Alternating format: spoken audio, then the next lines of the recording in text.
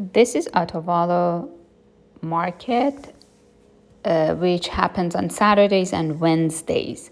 Saturday is the main one that most of the indigenous community who live around uh, the city of Otavalo, they all come here and they sell their stuff. And um, it's really colorful. You see a lot of textures, colors, a lot of high quality handmade stuff at very reasonable prices. And uh, this market um, you don't have to do a tour to come here because there are a lot of tour from the city of quito uh, organized tour bring uh, the tourists here. You really don't need to uh, come here with a tour. It's very easy very straightforward to get here. So the way you get here is in the city of quito if you get to terminal which is called called Carcelén this is a terminal that from the international airport there are direct buses that they charge you two dollars. From the airport they bring you to this terminal. It's one of the major main terminals. It's called Carcelén and uh, or from anywhere in Quito with an Uber you can get there. Um, Uber is very inexpensive in uh, uh, in uh, Ecuador. So when you get to Carcelén terminal, there are buses, direct buses that uh, from that terminal come to the uh, to the city, Otavalo.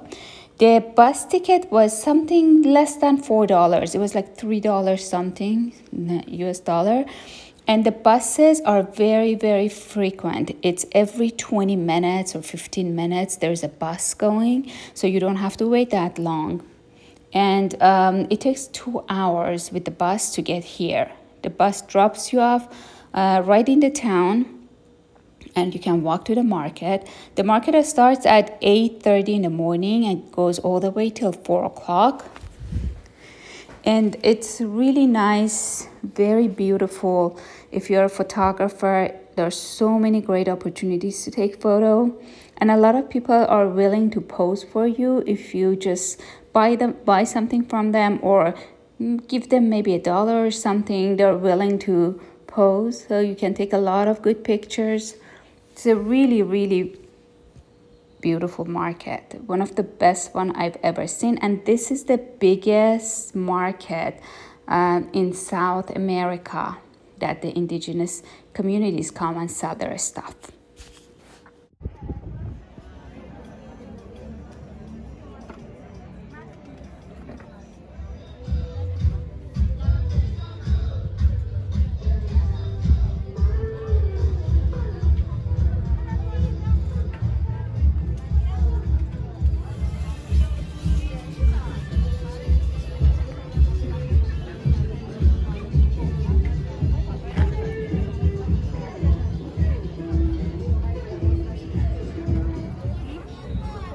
ahorita como...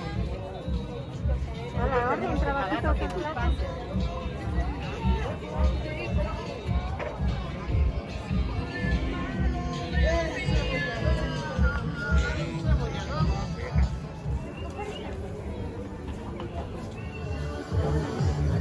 Y ahora ya no.